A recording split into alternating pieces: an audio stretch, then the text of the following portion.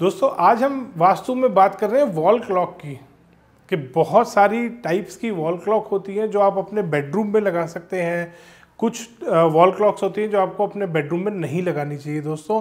जैसा कि आप देख रहे हैं, यहाँ पे भी मैंने दो तीन तरीके की वॉल क्लॉक्स लगा रखी हैं। तो वास्तुशास्त्र में जो रिकमेंड करते हैं आप समझ पा रहे होंगे कौन सी क्लॉक आपको नहीं लगानी। जी हाँ दोस्तों, आपको कभी भी ब्लैक डायल वाली घड़ी का इस्तेमाल नहीं करना। अपने बेडरूम में जब भी आप वॉल क्लॉक लगा रहे हैं, पहली चीज़ आपको ध्यान रखनी है कि वो कौन सी दीवार पे आनी चाहिए।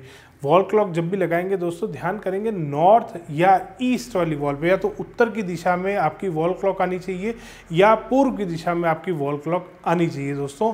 साउथ और वेस्ट डायरेक्शन में साउथ और वेस्ट वाली वॉल पे कभी भी आपको अपने वॉल क्लॉक नहीं लगानी। दोस्तों, आपको अपने बेडरूम में कभी भी ब्लैक डायल वाली है जिसमें कि ऐसा ब्लैक कलर की जो घड़ी होती है, जिसमें बैकग्राउंड ब्लैक होता है, वो आपको कभी भी अपनी वॉल पे नहीं लगानी। बहुत बार ऐसा होता है दोस्तों, आपका शनि ग्रह जो होता है, वो आपको सपोर्ट नहीं करता होता। और अगर ऐसा हुआ तो यही घड़ी आपको नुकसान दे सकती है, ये आपको समय से पीछे ले जा सकती है। दूसरी टाइप की घड़ी आती है दोस्तों पेंडुलम वाली घड़ी।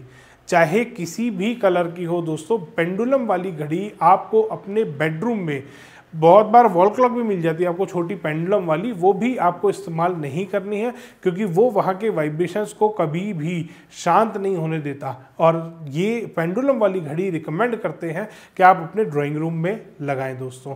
तो अगली बार जब भी अपने घर में, अपने बेडरूम में वॉल क्लॉक लगा रहे हो, खास ख्याल करें दोस्तों कलर का सेकेंड पेंडुलम वाली घड़ी कभी भी आपको अपने बेडरूम में नहीं लगानी, कभी इस्तेमाल ना करें पेंडुलम वाली घड़ी का। धन्यवाद दोस्तों, वीडियो पसंद आया तो इसको लाइक करें शेयर करें और चैनल को सब्सक्राइब करना ना भूलें।